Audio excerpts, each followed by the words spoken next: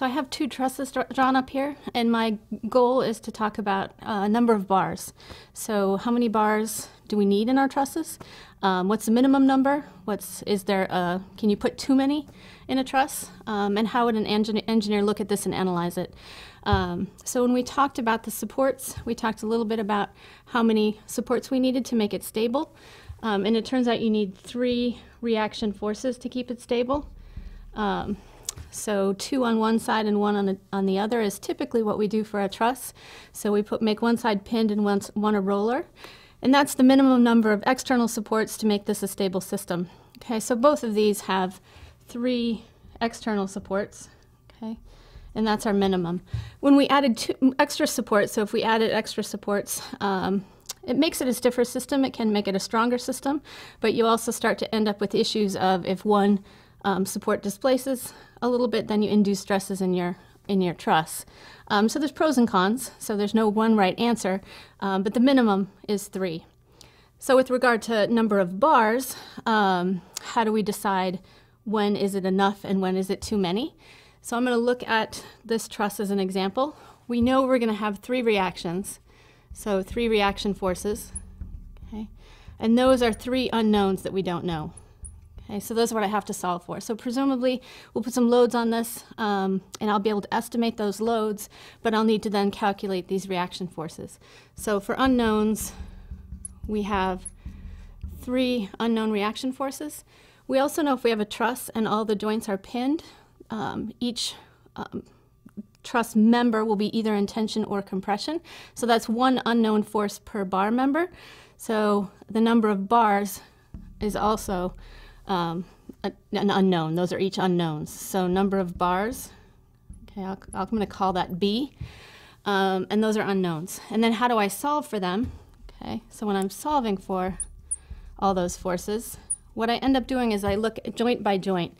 So I'll go joint by joint and I will sum forces in a two-dimensional truss, sum forces in two orthogonal directions, x and y, or along the axis and perpendicular. Um, but at each joint, I'll have two options. Um, so I'll, I'll, take a free body diagram of just a joint, and I'll have those two. So when I'm solving, um, to be able to solve it, I'll have 2 times the number of joints, where j equals the number of joints. That's how many equations I have that I can solve, solve for it. So if I have a truss, what I look at is I look at 3 plus b. These are my unknowns and I see if they are equal to 2j, 2 times the number of joints. Um, if that's the case, I have a statically determinate system, and that is the minimum number of bars. Okay, so that'll tell me, you know, if I'm looking at a truss, so I have the minimum number of bars. Um, if I don't, have an unstable system, um, and I'll need to redesign or add a bar. If I have more than this, um, 3b plus 2j, if that's greater than 2j, then I have extra bars in the system. Um, and I have an indeterminate system. Again, that's not necessarily bad. I can't solve it with just equilibrium. I have to go to um, a higher level math to figure that out. Um, it's still solvable. It tends to be a more rigid and stiff system, um, but there's pros and cons again to that.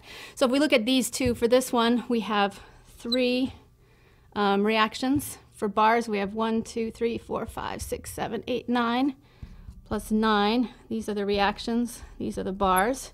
Those together are my unknowns, and that is 12. And then I have one, two, three, four, five, six joints j equals 6. So my equations that I can use is also 12. Because these are equal, I have a statically determinate system. This one's solvable and has the minimum number of bars. If we look at this one, this one has two extra bars. I'm not putting a joint in here. Um, I'm just going to let these two cross. So I have 3 plus 11. So B is 11 in this case. So that is going to be 14. My joints are still 6 since I'm not counting this as a joint. So I have 12 equations. I would refer to this truss as being 2 degrees indeterminate. So it wouldn't be solvable by basic math, and it has some redundancies, um, not necessarily a bad thing. Uh, we're going to focus on the statically determinate systems, or the um, bare minimum in this class, um, but there's pros and cons to using one like that.